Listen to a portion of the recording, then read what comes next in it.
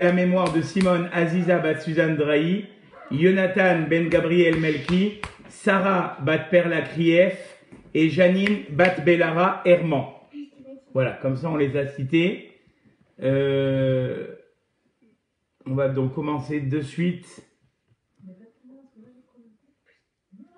Dans la paracha de cette semaine, on va commencer par une, une idée qui est ramenée à propos du Derech du savoir-vivre.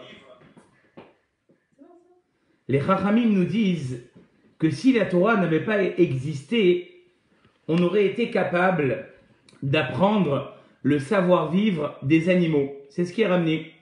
Et que la Gemara va aller même en précisant d'où est-ce qu'on le sait, d'où on connaît le savoir-vivre des animaux. La Gemara dans les commence à parler et dit, eh bien, le vol, on l'aurait appris de la fourmi. La, fourmi. la fourmi ne vole jamais ce qui ne lui appartient pas. Les bonnes mœurs de la colombe, la pudeur du chat et le savoir-vivre du coq. Et c'est ce que d'ailleurs le Navi, le prophète, va dire. Yada Shor où Le taureau est reconnaissant finalement de son propriétaire. Vachamor et l'âne et vous Be'alav du mangeoire que lui mettent ses propriétaires. Israël, mais le peuple juif Loyada, mon peuple, le peuple juif n'a pas reconnu qui finalement lui avait fait tous ses bienfaits. Ami lo mon peuple ne s'est pas émancipé, n'a pas réfléchi finalement à qui lui avait fait tous ses bienfaits. Vous savez que dans la paracha de cette semaine, Yaakov nous il va tout d'abord devoir euh, fuir son frère qui cherchait à le tuer, mais il va également devoir faire face à des supercheries inimaginables de son oncle Lavan. Or, on sait très bien, quand on voit les versets dans la paracha, on voit que Yaakov va travailler sans cesse pour euh, d'ailleurs à Jean-Pierre et Corinne qui nous ont rejoints, Yaakov a travaillé sans s'arrêter. Tout d'abord sept ans pour Léa, parce qu'il espérait finalement épouser Rachel, mais Lavan va de suite lui dire, mais chez nous on n'a pas l'habitude de donner la plus jeune avant l'aîné. Puis une fois qu'il se rend compte de la supercherie, les versets nous diront, Vayaas Yaakov Ken, Yaakov a fait ainsi, malé chez vous Azot, il a engagé ce travail-là. Vaïou Be'enav, était très intéressant, et ce fut à ses yeux comme quelques jours. Les commentateurs d'ailleurs de demander comment, quand on aime quelqu'un, ça peut passer aussi vite. Ben, si je suis pressé de quelque chose, ça passe lentement quand on est pressé de quelque chose. Et les commentateurs de dire que ce que Yaakov voulait faire, c'était surtout faire plaisir à Rachel, s'occuper d'elle en tant que femme, et donc finalement, c'est passé très vite. Mais ça s'arrêtera pas là. Beaucoup font l'erreur et oublient que Jacob ne s'est pas arrêté à 14 ans de travail. Vayavod Imo, si vous voulez la référence, chapitre 29, verset 30. Vayavod Imo od sheva shanim Eh bien, Jacob a encore travaillé sept ans de plus. Il n'a pas travaillé que 14 ans il a travaillé 21 ans consécutifs pour son beau-père Lavan. Et ce qui est terrible, eh bien, c'est la réaction des enfants de Lavan. Les enfants de Lavan diront, Yaakov lakar, lakar Yaakov, et kol asher leavinu. Yaakov a pris tout ce qui appartenait à notre père, ou meacher leavinu, et ce qui appartenait à notre père, Asa et kol Tout ce respect finalement et toute cette euh, tout ce qu'il avait, c'est uniquement par le mérite de ce qui appartenait à notre père. Et là, véritablement, c'est finalement le sujet de notre cours. Ce manque de reconnaissance de la part des enfants de la vanne est terrible. Et d'ailleurs, Yaakov va se rendre compte de cette ingratitude. Et il va dire, Vayar Yaakov et peiné la vanne. Yaakov vit le visage de son beau-père Lavan. Kitmol shilsham. Il n'était plus comme hier et avant-hier. Shavuatov à Eric qui nous a rejoint. Plus encore, Lavan va dire, Ma asita. Jacob, qu'as-tu fait? Vatiknov et levavi, tu as volé mon cœur. Laman arbeta livroar. Pourquoi tu t'es sauvé? Vatignov oti. Tu m'as volé.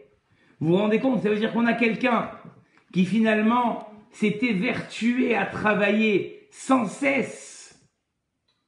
Et la personne qui est en face et qui reçoit le fruit de ce travail qui est la vanne est capable finalement de nier en bloc. C'est-à-dire qu'on peut avoir un être humain qui aide une autre personne, qui enrichit cette même personne, et à la fin, il peut nier en bloc que la personne qui est en face ne lui a rien fait. Et il n'y a pas besoin de remonter à la Torah. Aujourd'hui, dans la société dans laquelle on vit, combien de fois on voit des gens qui ont ce manque d'akaratatov, qui ont ce manque de reconnaissance, tu les aides, tu te, tu te déchires pour eux, j'ai envie de dire. Et il y a un manque de reconnaissance qui est complet. Et quand on voit le CV de Yaakov, Yaakov avait un CV exceptionnel. Il est dit dans le verset, Haïti Bayom, j'étais le matin, Achalani Chorev, le froid du matin me mangeait. Vous savez ce que c'est sortir dans le froid glacial? Pas le froid de la Méditerranée, de Marseille, que en fait il fait plus de soleil que de froid. Non, non, non. Kerar Balaïla, ce glaçon de la nuit, va t'edad shnati merinai, dira Jacob, mon sommeil n'a pas connu mes yeux. Arba efreshana bivnotecha. Et c'est là où résume euh, Jacob. 17 ans pour tes filles et encore 6 ans ou 7 ans pour ton bétail. Donc c'est un CV exceptionnel. Comment comprendre qu'un homme finalement, et c'est ce qu'on va essayer ce soir de développer, peut arriver à lâcher sa manque, ce manque de reconnaissance à lâcher ses intentions finalement, à ne pas avoir la reconnaissance qu'il faut. Alors vous savez, le Rav Dessler, en dehors du Mirtav Eliaou, qui a été écrit par euh, le Rav Dessler, j'ai un doute si j'ai salué le président et son épouse, parce que je les vois maintenant en image, monsieur et madame Lévy, Shavuatov.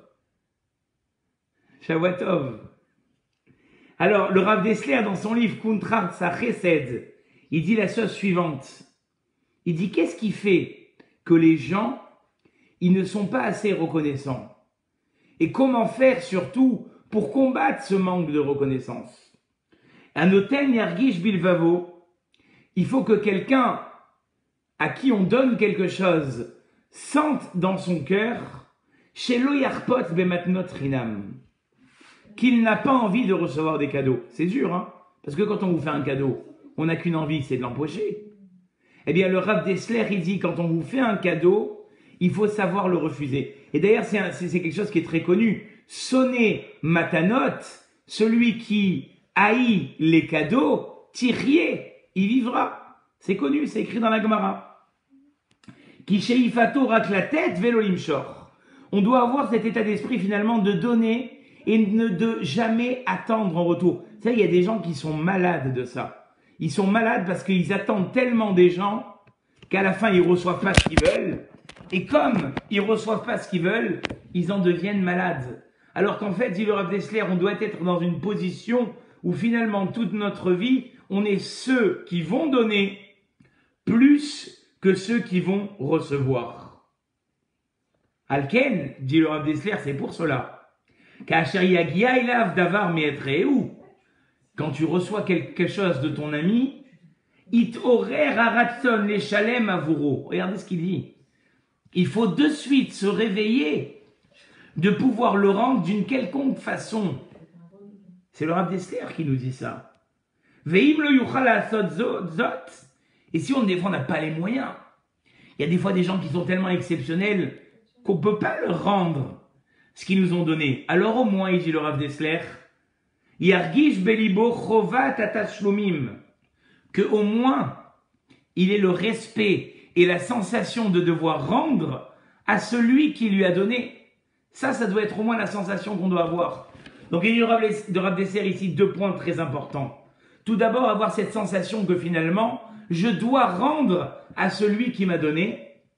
Et puis ensuite, même si je n'ai pas la possibilité de pouvoir rendre aux personnes qui m'ont donné, que j'ai cette, cette forme, euh, pas, pas, d'être un lèche-bot, parce que des fois, ah, oh on fait le cavode, quand il rentre en soleil, il y a de l'exagération, mais sentir profondément ce respect vis-à-vis de la personne qui m'a aidé.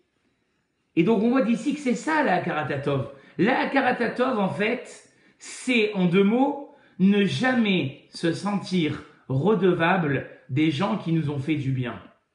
Alors, et donc finalement, il faudrait s'efforcer, comme a dit le Rav euh, Dessler, d'effectuer un remboursement matériel ou un remboursement moral. Mais j'aimerais quand même ici préciser quelque chose de tout à fait important. On n'a pas ici, le Rav Dessler, il n'est pas en train d'exprimer qu'une personne, elle doit marcher finalement d'un donné pour un rendu. Parce que très souvent, les gens, ils fonctionnent comme ça. Ils font ce qui s'appelle un donné pour un rendu. Euh, tu m'as invité à la bar mitzvah de ton petit-fils, je t'inviterai au mariage de ma petite fille. Tu m'as souri quand on s'est vu au primaire, je te sourirai quand je te verrai au cachère. Non, c'est pas ça. C'est pas de ça que le Rav Dessler y parle. Le Rav Dessler, je vais vous dire de quoi est-ce qu'il parle. Il parle un petit peu, et on a fait un siour cette semaine avec mes élèves à l'école, de ce qu'on dit tous les matins. On en a parlé aussi tout à l'heure à la synagogue. On dit tous les matins, Modéani lefanecha. Je te remercie devant toi, mon Dieu. Que tu m'as rendu mon âme, bechemla, bechemla, avec gratitude, rabba munatecha. Grand état, croyance. Mais vis-à-vis de qui Dieu y croit? Alors les commentateurs, ils expliquent. Dieu, en fait, il croit en nous. Chaque matin, Dieu, si véritablement, pour certaines personnes, pas pour vous, vous vous êtes des tzadikim, vous écoutez un cours samedi soir, alors que depuis ce matin, on est déconfiné, on pourrait aller faire du shopping jusqu'à 21h30, on pourrait, hein, on pourrait aller faire plein de choses. Vous êtes des tzadikim, vous m'écoutez. Mais, mais, mais je parle de façon générale. Si on faisait un petit peu la part des choses, Dieu il dirait, je suis là, la Neshama, je la garde ici, je ne redescends pas. Rabba Munatecha. La confiance que Dieu a en nous, qu'on fera mieux plus tard, elle fait que notre Neshama, elle redescend. Eh bien, nous, on doit être comme ça. C'est-à-dire que si quelqu'un nous a rendu un service, ne pas être dans cet état d'esprit d'un donné pour un rendu, jamais de la vie, c'est pas ça qu'on parle, mais qu'au moins on ait ce respect vis-à-vis de la personne qui nous a fait du bien, d'être reconnaissante et de ne pas rapidement oublier tout ce qui s'est passé. Par contre, dira le Rav Dessler, Anotel lishov tadir limshoch bet kol yuchal, en begzela, en betarbit, en bematana. Celui qui est juste là pour dire av, av, av. Donne-moi, donne-moi, donne-moi, donne-moi. Il est là, c'est un, on appelle ça, c'est les profiteurs de la société. Ils sont là, tant qu'ils peuvent pomper, exploiter, faire tout ce qu'ils peuvent faire. Shavuatov à Monsieur Hazan qui nous a rejoint également. Alors, eh bien, ils pompent, ils prennent encore plus. Et quand ils n'ont pas ce qu'ils veulent, oh bah bah, on dirait que tout le monde leur doit des choses. Ou Bekarov, Libo, Yarshov, qui accole chez l'eau. Depuis le Rav Dessler, ça a existé, ce tempérament. Ils croient que tout leur est dû. Ou et tout est pour lui. Alken, Beagio, Davartov, Ashereti, Vimo, Chavero, Lo. Donc quand il reçoit quelque chose, mais il se sent pas redevable. C'est normal. Mais c'est normal qu'il m'a fait ça. C'est normal qu'un dimanche matin, à 6 heures du matin, il est venu m'ouvrir la maison parce que j'arrivais pas à ouvrir, il est passé par la fenêtre. Mais c'est normal. C'est normal qu'il est venu à la scara de mon père ou de ma mère. C'est normal. C'est la mitzvah. C'est pour la mitzvah. Tout est normal. Alors cette personne-là, Tova. Ça, c'est celui qui est appelé un, un renégat des bienfaits. Il n'est pas capable de, d'être d'accord que finalement les gens ils lui ont fait du bien. Et donc ça, je vais vous dire la vérité, ça refroidit les gens. Quand les gens, ils ont en face d'eux quelqu'un qui finalement a fait l'effort de faire du bien et qui sent qu'en face, finalement, c'était normal, ça refroidit les gens de vouloir en faire plus. Et la personne suivante, elle aura plus envie d'en faire. Elle dira, mais cette personne-là, mais pourquoi je continuerai à l'aider? Il n'y a même pas un semblant de Karatatov, de gratitude. Et cette erreur à Botaï, on ne la voit que trop souvent. Très souvent, on a envie de, se faire ami avec des gens. On a l'impression que, que, cette amitié, c'est pour ça que le mot amitié, regardez le mot amitié en français, c'est le même mot que amitié en hébreu, pour ceux qui font l'ulpan. Dommage qu'il n'y a pas Madame Barkat parmi nous. Amitié, c'est quoi? C'est vrai. Une amitié, c'est quelque chose de vrai. Je suis là pour toi, tu es là pour moi, mais on va jamais compter. Peut-être que moi je vais faire plus pour toi. Peut-être que toi tu vas faire plus pour moi, mais jamais on compte. Parce que c'est ça la vraie amitié. Et dans le couple, ça doit être la même chose. Je vais pas commencer à compter le nombre de vaisselles que j'ai fait pour ma femme ou le nombre de parterres que j'ai lavé le vendredi parce qu'elle pouvait pas le laver. Je vais pas commencer à compter ça. Non. Ou alors, mon mari, il est venu m'aider. Je suis revenu du boulot, il a pris en main mes enfants. D'accord Alors, oh, pour une fois qu'il se bouge un peu. Non. On va pas. Et c'est ça, regardez le mot mishpacha. Le mot mishpacha, c'est les mêmes lettres que mechapes Hachem. C'est-à-dire que quand je fais quelque chose dans mon couple, je le fais pas parce que j'ai des comptes à rendre avec mon, avec mon conjoint. Je le fais parce que Dieu, il m'a demandé d'aider. Vedavad Beishto, il se collera à sa femme. Vehayu les Basar Echad. C'est quoi Basar Echad? En dehors du fait que ce soit l'enfant Basar Echad. Mais c'est aussi le même état d'esprit. Est-ce que moi, quand je me douche, je me tape sur les poches, je me dis, ah, là tu t'es douché, mais ah, ah là tu t'es brossé les dents, ah, Chazak. Là tu t'es ciré les chaussures, Chazak. Non, je me félicite pas, moi. C'est ça, Bassar Echad, Rabotai. C'est quoi la Bassar Echad? C'est que moi et ma femme, on est une même identité, une même entité et qu'on va pas commencer à se, à se, rendre des comptes. Et l'éducation, c'est la même chose. Si on croit que mes enfants, quand ils vont grandir, ça va devenir mes esclaves, et pourquoi tu m'as pas fait les courses? Et ce matin j'attendais ton appel Et pourquoi tu m'as pas amené en voiture? Et pourquoi tu m'as pas au restaurant? Et pourquoi il y en a que pour ta femme? Et il y en a que pour ton mari? Les enfants, vous savez, il y a un rave qui a dit, il a dit, plus tu demandes à des enfants des choses, plus ils vont sentir que c'est tes esclaves, plus ils vont plus vouloir t'aider. Ne crois pas que parce que tu leur as payé la scolarité, parce que tu leur as donné à manger, parce que tu leur as donné de, l'argent de poche, parce que tu leur as payé leur étude, parce que tu les as habillés, n'attends rien en retour. N'attends rien parce que tu seras malheureux. Si ta relation avec tes enfants, elle est dans cet état d'esprit, je fais, je donne à mes enfants parce que eux-mêmes m'ont donné, on s'en sort pas, Rabotaï. On s'en sort pas. Et le problème, il est, c'est que le monde, il éduque exactement à l'inverse. Aujourd'hui, quand quelqu'un il fait du bien, on le prend pour un pigeon. Il est venu à la synagogue. Ah, mais il n'y a que lui qui vient, les autres ils viennent pas. Mais tout le monde se doit de venir à la synagogue. Particulièrement dans la période dans laquelle on vit, Rabotaï. Il faut savoir que chacun est le dixième, que ce soit pour notre communauté ou pour tous les gens qui nous écoutent ce soir. Nos, nos synagogues traversent des difficultés de fréquentation terribles. Je ne suis pas en train ici de, de me plaindre de ceux qui viennent pas à cause de leur fragilité. Je suis en train de, de réveiller ceux qui pourraient venir et qui ne viennent pas que ce soit dans notre synagogue ou dans toutes les synagogues. À Botaï, chacun, il doit se sentir responsable. Comme on l'a dit, les gens, ils sentent que la synagogue, ils en ont besoin quand c'est les fêtes. Les gens, ils sentent que la synagogue, ils en ont besoin quand c'est les bar mitzvot, quand c'est les avelout. Alors c'est le inyan de Karatatov, on en parlera tout à l'heure. La synagogue, elle t'a donné dans tes moments de bonheur. La synagogue, elle t'a donné dans tes, dans tes moments de malheur, que Dieu nous en préserve. Sache toi aussi lui donner de ta fréquentation sache toi aussi lui rendre ce qu'elle t'a donné, que ce soit dans notre communauté ou pour tous les gens qui nous écoutent. On doit se soucier à ce que nos communautés, elles vivent financièrement et elles vivent dans leur fréquentation. Parce que si chacun, il dit l'autre, il va venir, et moi je viendrai pas, c'est pas de la karatatov. Combien de fois je vous ai raconté cette histoire? Il y avait une synagogue, ils savaient pas comment avoir beaucoup d'alcool pour, pour, pour, euh, pour, pour, Simchat. Qu'est-ce qu'il a dit le rabbin? Le rabbin, il a dit, à partir de maintenant, chaque jour, dans chaque Shabbat, à la fin de Shabbat, vous gardez un petit verre de vin. On le verse dans le tonneau, et dans un an, le tonneau, il sera plein pour Simchat. Alors chacun, il a fait ça, il versait son verre. Arrive le jour de Simchat on donne le kavod au rabbin pour, euh, pour servir le vin. Il va que de l'eau, teinté un peu en rose, mais c'était que de l'eau. Qu'est-ce qui s'était passé, Rabotaï Chacun, il a dit, moi, si je mets un verre d'eau dans tellement de vin, mais ça se remarquera pas. Et l'autre, il a dit, ben moi aussi, si je mets un verre d'eau dans le vin, ben ça se remarquera pas. C'est sorti de la grenadine, Rabotaï. Parce que chacun, il comptait sur le, verre de vin que l'autre allait mettre. C'est ça, Rabotaï. La présence et la participation dans nos synagogues. C'est se dire que on va pas dire de toute façon sans moi, y aura On doit être chacun le dixième.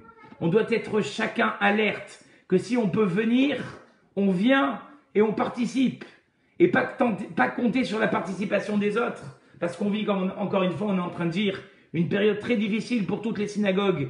Et dans chaque synagogue, on doit se soucier encore une fois, tout d'abord que la fréquentation soit la même et pour certaines communautés, que le financièrement soit le même, parce que nos communautés, notre communauté, nos communautés doivent continuer à vivre. Je ferme la parenthèse.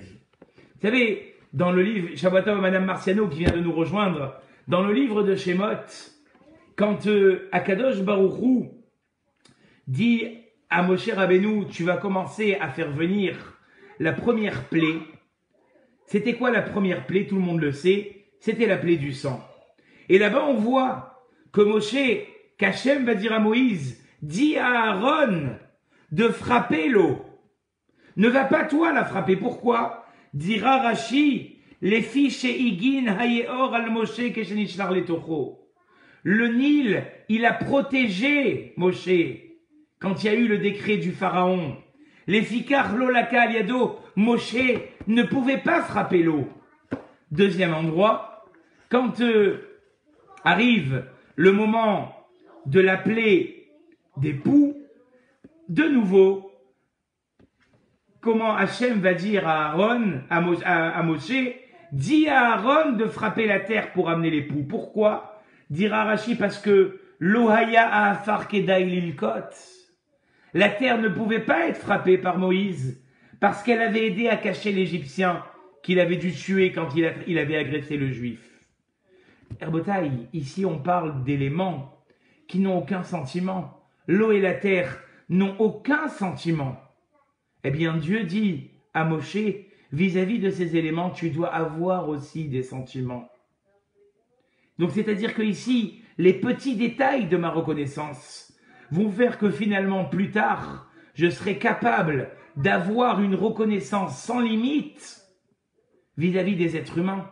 Parce qu'en amont, j'ai été capable d'avoir cette reconnaissance. Dans nos cours, on a souvent mentionné cette histoire de ce rabbin qui, après la Shoah, avait ramené un arbre, vous entendez bien? Il avait ramené un arbre de l'Allemagne. Parce qu'il s'était dit, durant la guerre, cet arbre-là, avec son, avec ses feuilles, il a pu nous cacher, nous sauver des Allemands toute ma vie. je garderai cet arbre et je m'en occuperai parce qu'il m'a sauvé. Alors qu'encore une fois, c'était un élément qui n'avait pas de sentiment. Eh bien, Yaakov est arrivé à ce niveau, Rabotaï. Yaakov est arrivé à ce niveau de Hakaratatov. Pourquoi? Parce qu'il a dit au moment où il va rencontrer Esav, Katonti Mikol Achasadim, ou Mikol Aemet, Asher Asita et Avdecha. Je me sens petit devant tout le bien que tu as fait à ton serviteur. Pourtant, comme on a dit tout à l'heure, Yaakov, il avait travaillé honnêtement ça lui revenait? Non.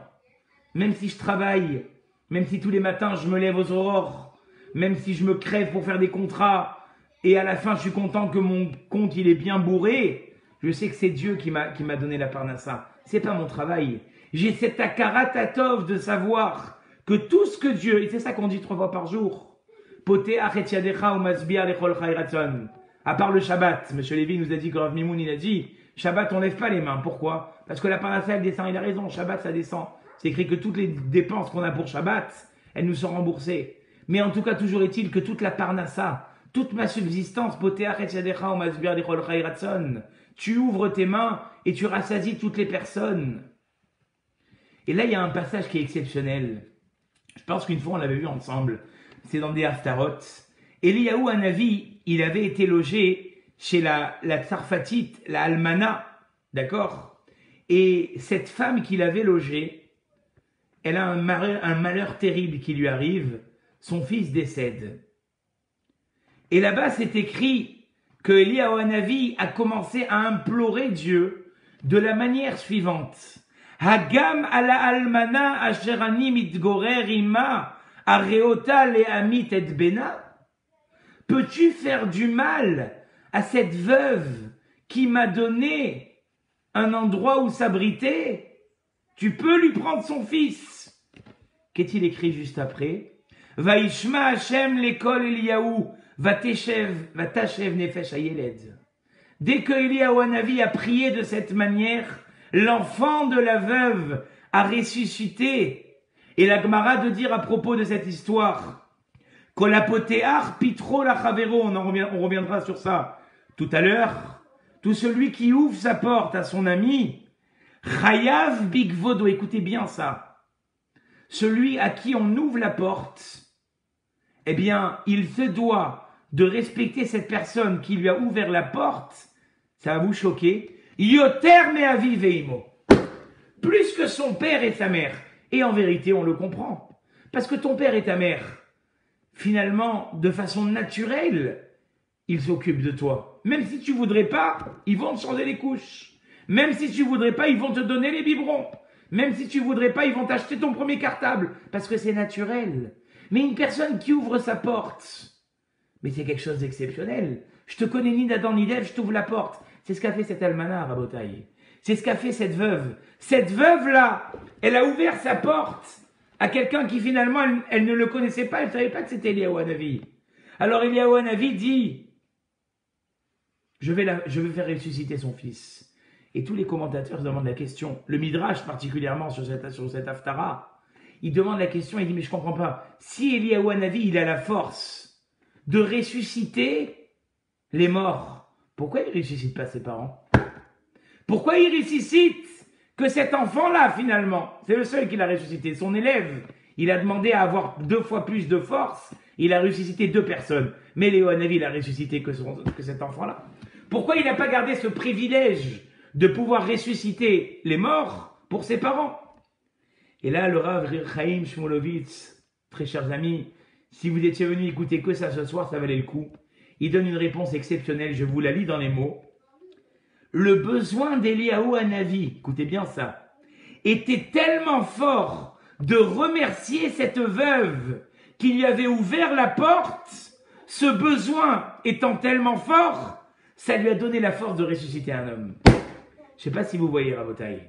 Le besoin de remercier cette almana qui finalement l'avait reçu à la maison, il était tellement fort qui peut aller même jusqu'à faire ressusciter quelqu'un.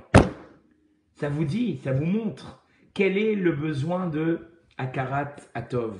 Et c'est pour cela que vis-à-vis de ses parents, comme je vous ai dit tout à l'heure, ils ne pouvaient pas les ressusciter. Parce que les parents, finalement, ils se sentent redevables vis-à-vis de leur enfant. C'est la chair de leur chair. Donc ils ne peuvent pas le laisser tomber. Donc ils n'ont pas fait ça en tant que, que, que Tova. Ils ont fait ça en tant que nature. Donc Eliaou Navi, il ne peut faire intervenir une, une résurrection que vis-à-vis d'une personne qui lui a fait du bien 100%. Pas un bien qui vient de la nature, mais un bien qui vient finalement de l'Arnasatorim. Et je vous dis, le Ravolbeu, il a un Mahamar sur l'Arnasatorim qui est exceptionnel. Il dit, si on voit qu'Akadosh Baruchou, il était à côté d'Avraham Avinu, et Avraham Avinu, il a dit à Hachem deux secondes, je vous l'ai dit il y a quelques semaines ça. Avraham Avinu, il a dit à Hachem, deux secondes, je dois d'abord recevoir les invités. Hachem, il dit oui, ok, je t'attends. Ça veut dire que Arna Satorim Rabotai. Et comme je dis toujours, c'est pas un couscous entre amis ou bien une dafina avec ses enfants. C'est un vrai Arna Satorim. Tu vas à la synagogue, tu trouves quelqu'un qui n'a pas où passer Shabbat. Tu es dans la rue, tu vois un type avec ses valises. Monsieur, venez, je vous accepte à la maison. D'accord? Donc ça, cette Arna Satorim, elle est yoter gdola, mi kabbalat pene dit le Ravolbeu, c'est exceptionnel. Le fait d'inviter des gens, ça devient plus important que Kabbalat Pene à. Et c'est ça la Gemara, c'est la Gemara dans Yebamot.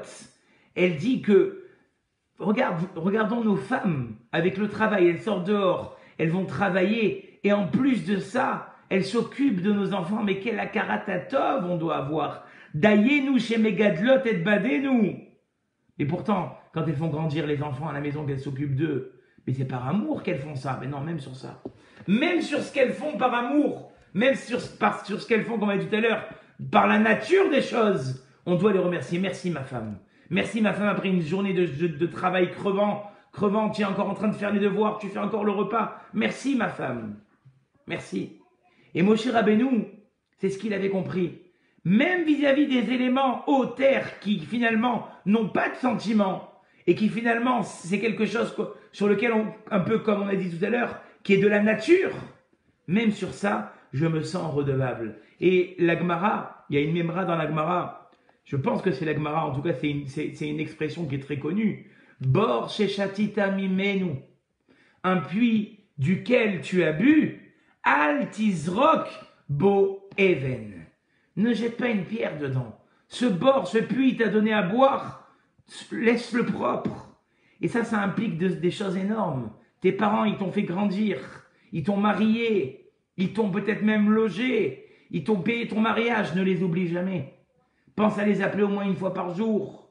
Pense à venir leur faire des courses. S'ils sont, ils sont, ils sont, ils sont, ils sont mis en confinement à cause du Covid, va leur faire des courses une fois par semaine. Appelle-les. Regarde qu'ils sont heureux. Vous savez, j'ai eu un ami et il m'a demandé, c'est lui qui m'a demandé ça. Il est aumônier des hôpitaux de Marseille. Que Dieu le garde, Harry Samoun. Il m'a dit, s'il ne veut pas savoir la souffrance des gens isolés, il m'a dit, il faut le dire autour de toi. Ne laissons pas nos anciens isolés, rabotaille. Que ce soit, je vous dis, en tant que rabbin, par un coup de fil, vous pouvez faire revivre quelqu'un. Ah, tu le fais revivre par un coup de fil. On ne doit pas laisser nos gens. Et ça fait partie de la Garatatov. Ça fait partie de nos anciens qui, eux, dans notre jeunesse, se sont occupés de nous. On se sont occupés de nos synagogues. Et comme on l'a dit tout à l'heure, c'est pareil dans notre couple, un conjoint vis-à-vis vis-à-vis d'un autre conjoint. On doit avoir cet akaratatov, même vis-à-vis de l'école, notre école. Est-ce que nos écoles sont assez soutenues? Est-ce que les professeurs de nos enfants sont assez mis en valeur à la fin de l'année? Tu leur fais un cadeau, cadeau de fin d'année.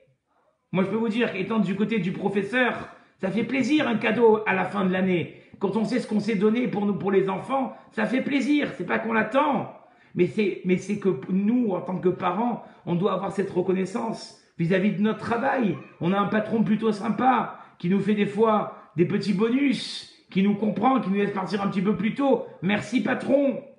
Et tout comme on l'a dit tout à l'heure, on le répétera jamais assez vis-à-vis de nos synagogues. Je remets le point dessus parce qu'encore une fois, on vit une période qui est très difficile et on doit se, on doit se soucier que dans toutes nos synagogues, notre participation matérielle et notre participation effective pour le minyan, elle ne baisse pas, Rabotaille. Nos synagogues sont là pour nous aider dans nos moments de tristesse. Nos synagogues sont là pour nous aider dans nos moments de joie.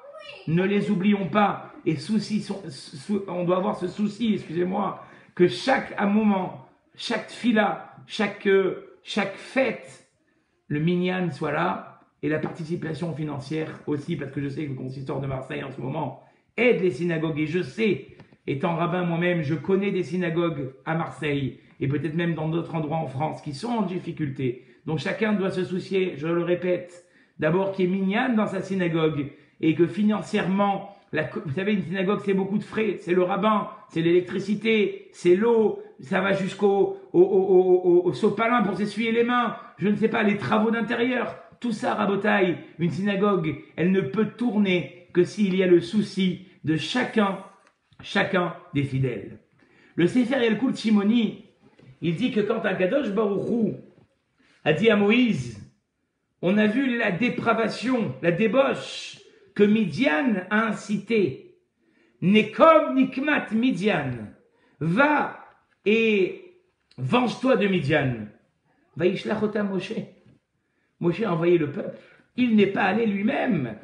Pourquoi pas lui? Amrou Chazal et Chachamim nous ont dit Amar Moshe, Ani Gadalti Bemidian.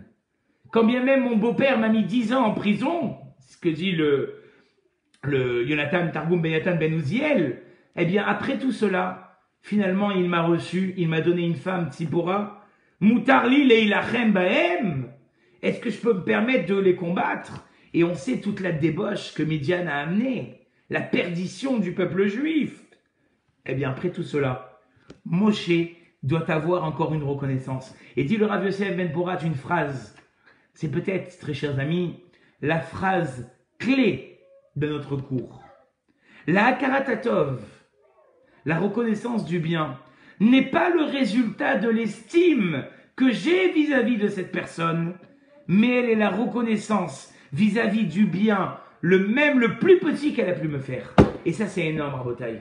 Ça veut dire que des fois dans la vie, vis-à-vis de nos parents, vis-à-vis de l'école, vis-à-vis de la choule, on a eu du bien, mais entre-temps, on a eu des divergences. Il y a des choses qui nous ont peut-être pas plu. On a eu des discussions et des mots qu'on n'aurait pas dû avoir. Et qu'est-ce qui se passe? On oublie tout Comment tu peux tout oublier? Tes parents qui se sont occupés de toi pendant 25 ans, parce qu'une fois vous vous êtes mal parlé, parce qu'une fois ils ont mal parlé à ta femme, parce qu'une fois ils ont mal parlé à ton mari, tu vas les oublier toute ta vie 25 ans, tu vas les oublier, c'est pas possible. Ou parce qu'une fois le rabbin ou le président ils t'ont mal parlé, tu tournes le dos à la synagogue? Ou parce qu'il y a le Covid et que tu n'es pas du tout à risque, tu viens plus? Comme il a dit hein, quelqu'un, bon ça l'implique, j'aime beaucoup, il a dit le Covid il a bon dos. Le Covid il a bon dos. Les gens ils ont cru que maintenant, le Covid ça y est, on vient plus. Mais non, les personnes qui sont à risque, que Dieu les protège et les bénisse, ils restent chez eux à la maison, mais les autres ils mettent un masque, ils mettent du gel et ils viennent à la synagogue. Rabotaille, on peut pas, parce qu'il y a à un moment une certaine turbulence dans notre relation, qu'elle soit familiale, qu'elle soit communautaire, tout oublier. C'est ça qui dit le Rav. Je répète la phrase. La Karatatov, n'est pas le résultat de l'estime qui des fois peut être en, vogue, mais c'est la reconnaissance vis-à-vis du bien qu'on t'a fait. J'espère que les paroles sont claires. Et tout ça pourquoi, Rabotaille Pourquoi le rabbin Chocron, depuis une heure, il nous rabâche les oreilles avec la reconnaissance? Pourquoi? Parce que la Gemara, elle le dit.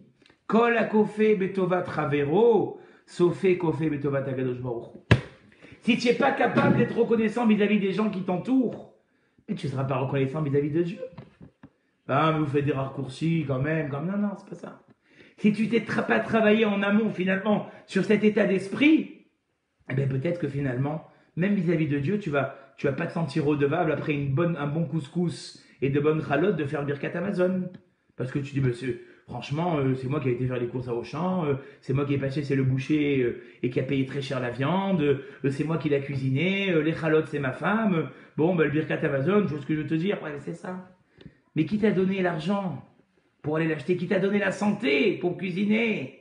Qui t'a donné la joie d'avoir une famille? Et ça, Rabotaille, c'est ça qu'on dit dans la Hamida sans s'en rendre compte. Dans la Hamida, dans la prière, trois fois par jour, qu'est-ce qu'on dit? Ça, il faut. Moi, je travaille ça en ce moment avec mes élèves et je leur ai montré des choses exceptionnelles. Quand on commence à travailler la prière, on se rend compte. Je leur ai dit par exemple, très joli chidouche cette semaine, on, se lève le matin et on fait première bénédiction juste après euh, euh, Modéani, et Lokain Shama. Et juste après Lokain Shama, c'est quoi la Il y a une série de bénédictions. La première, c'est quoi? Qui a donné l'intelligence aux coqs il y, en a, il y en a même qui ont fait des procès aux coqs. Ils disent que les coqs, ils font trop de bruit. Et ils ont perdu le procès, mais ils ont fait un procès au coq qui fait trop de bruit. Et nous, tous les matins, qui a donné l'intelligence au coq de faire la différence entre le jour et la nuit? Qu'est-ce que j'ai besoin de ça de bon matin? Quel rapport y a-t-il entre le coq, à part le fait qu'il fait un gros bruit et que des fois ça nous réveille, et qu'il y en a qui ont porté plainte, à pas être content de Brigitte Bordeaux, et le matin Bon. Alors le Roche, il a dit quelque chose d'exceptionnel. Le Roche, il a dit si le, le, écoutez bien la, réponse du Roche. Il a dit si le coq avec son petit cerveau de pois chiche, son petit pois de cerveau, Dieu il lui a donné cette force exceptionnelle de faire le distinguo entre le jour et la nuit. Nous qui avons un cerveau exceptionnel, bien sûr qu'on doit l'utiliser pour faire la différence entre le bien et le mal. Et c'est dans cet état d'esprit qu'on doit commencer notre journée. De se dire que si le coq, il a cette différence entre le jour et la nuit. Nous qui avons un cerveau, exceptionnel pour distinguer des milliers de choses, on doit faire le distinguo. Et c'est comme ça qu'on commence notre journée. Vous voyez que quand on explique la tfila, c'est exceptionnel. Eh bien, dans la tfila aussi, qu'est-ce qu'on dit? Je vais lui répéter une dizaine de fois, ça dans les cours. Et sur les miracles et bienfaits que tu fais avec moi le soir, le matin et l'après-midi. Alors, oui, mais, quoi? Alors regarde, par exemple, tu as des soucis avec tes enfants, tu te plains, mais dis merci à Hachem que tu as des enfants. Il y a des gens à qui on annonce tous les jours qu'ils ne pourront pas avoir d'enfants. Toi, tu as, le, le bonheur d'avoir des enfants. Tu te plains de tes enfants, mais si tu te plains de tes enfants, c'est que Dieu, il t'a fait ce récède. Il t'a fait cette bonté de t'en donner. Tu te plains, dommage qu'il n'y a pas Jeannot avec nous. Tu te plains de payer des impôts, mais ça veut dire que Dieu, il t'a donné la possibilité d'acheter une maison. Tu te plains que ta voiture, elle n'a pas démarré, ou que tu dois faire le, le, contrôle technique, ou que tu dois mettre les pneus hiver. Tu dois mettre les pneus hiver. Ça veut dire que tu as une voiture, que tu as les moyens de mettre des pneus hiver, et que tu montes chaque hiver à la montagne, à, ton chalet. Et tu te plains, mais tu devrais remercier chaîne d'être arrivé aux pneus hiver. Il y en a qui sont même pas arrivés aux pneus d'un scooter. Toi, tu es aux pneus hiver de la voiture déjà. Tu te plains de ton voyage. L'avion a eu du retard. L'hôtel, il n'était pas trop génial. Mais tu as pu partir en voyage. Il y a des gens qui ne savent pas comment ils vont joindre les deux bouts à la fin de la semaine prochaine pour faire Shabbat. Et toi, tu te plains de ton voyage, mais dis merci à Hachem. Donc on voit finalement pourquoi, pourquoi la Karatatov Arbotaï, elle a tellement cette importance. Parce que finalement, oui, parce que finalement, voilà, il y en a qui sont d'accord pour les impôts. Eric Ataya, il a dit je suis d'accord pour les impôts. Ouais, il est d'accord, voilà. Mais bah, Hachem, si tu payes des impôts, c'est que tu as une maison. Si tu payes des impôts, c'est que bah, Hachem, tu as, un toit à mettre sur ta tête. Et pourquoi on n'arrive pas à ça facilement à Botaï Pourquoi Pourquoi on râle? Pourquoi on est des râleurs? Pourquoi on, dit qu'on en veut toujours plus? Pourquoi, pourquoi on n'arrive pas à cette Akaratatov? Parce que malheureusement, il dit le Majgiar, Rabbi Reskiel et Winstein, on a pris l'habitude depuis tout petit de tout avoir. C'est un peu quand on, se marie, on passe sous la roupa, et après c'est la douche froide. On sort de la roupa, c'est la douche froide. Parce que jusqu'à aujourd'hui, maman elle était aux petits soins, et papa il se, il se souciait que tu avais besoin de rien. Maintenant c'est toi tu es rentré sous la roupa et tu es passé du receveur au donneur. Maintenant, c'est toi qui vas devoir donner. C'est toi qui vas devoir donner tes nuits. C'est toi qui vas devoir donner ton temps pour faire les devoirs avec tes enfants. C'est toi qui vas devoir donner de ton argent pour que tes enfants y réussissent dans la vie. Eh bien, tout ça, à Botaï, c'est difficile. C'est difficile de pouvoir finalement, d'accord, passer du donneur, du receveur, excusez-moi, au donneur eh bien, on doit finalement redécouvrir à chaque instant. Un peu comme à Mavzil, un non-voyant à qui on, pouvait, on, redonnerait les yeux. Mais il serait du matin au soir rempli de louanges vis-à-vis d'Hachem. Et pourtant, nous, chaque matin à Botaï, on nous donne des choses consécutives sans avoir la faculté finalement de se rendre compte et de remercier Hachem. Poké Achivrim, comme j'ai dit à mes élèves cette semaine, on a deux morceaux de chair, de la, de la viande, et ils voient mieux que je sais pas combien de millions de pixels. Mais je vois. C'est des millions de pixels. J'arrive à me mettre droit. Vous savez qu'il y a des gens, ils n'arrivent pas à se mettre droit. Il faut trois personnes pour pouvoir les lever et les mettre dans une chaise roulante. Que Dieu vous en préserve. Zokef Kefoufim. J'ai pu mettre ce matin ma chemise. Il y a des gens qui tous les soirs font la poubelle pour pouvoir trouver de quoi se mettre sur eux. Matir Sourim, ça aussi, question exceptionnelle. Qu'est-ce que ça fout, la bracha de Matir Sourim dans les brachot? Qui a libéré les prisonniers? Mais, mais, quel rapport? Je viens de me lever, laisse-moi tranquille. Mais je vais te dire à je vais vous dire, chaque matin quand on se lève, jusqu'à qu'on se réveille, on est prisonnier de notre sommeil. Et on doit dire à Dieu, c'est ça que j'ai expliqué à mes élèves cette semaine, merci mon Dieu d'avoir retrouvé la motricité de tous mes membres. Il y a des gens que Dieu leur envoie une grande réfoua chez les Amen, qui ça fait des années sont prisonniers de leur corps. Ils ne peuvent plus utiliser leurs membres. Matir Asurim, Dieu nous a libérés de la, du sommeil où on était finalement emprisonnés dans ce sommeil. On ne bougeait pas, on rebouge. On doit avoir une pensée sincère à toutes ces personnes qui, eux, n'ont pas ce bonheur et qui sont finalement prisonniers de leur corps prisonniers de leur handicap. J'ai dit à mes enfants, c'est là où finalement on devrait bénir tous ceux qu'on connaît dans notre entourage qui sont handicap, handicapés et que Dieu leur donne la possibilité rapidement, Amen, de pouvoir être libérés de ces chaînes de l'handicap. Eh bien, c'est ça, Rabotaï. L'important, c'est ça où ce soir je voulais mettre le, le dagesh, c'est là où je voulais mettre ce soir le point. Apprendre à être reconnaissant vis-à-vis -vis de tout ce qui nous entoure pour ne jamais oublier le chesed qu'Hachem, il a fait Shavuot à tous. Alors, Rabotai, voilà, je voulais